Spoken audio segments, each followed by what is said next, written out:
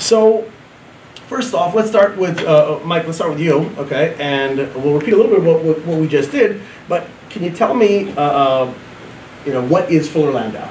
So Fuller Landau is a full-service, uh, I guess if you want, called the traditional accounting firm services of accounting, tax, audit, that type of work.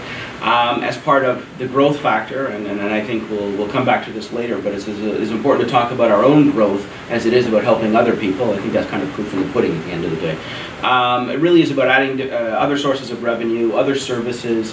Uh, I firmly believe in uh, multiple touches, so the more a client touches our firm with various services, the longer the loyalty, the stronger the loyalty, and the less uh, the service offering that you're providing is subject to price points.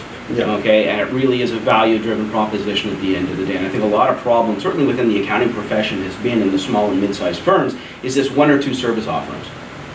So we've, you know, we've stretched out into uh, human resource consulting, uh, virtual CFO work for clients. Um, we are doing some marketing uh, support.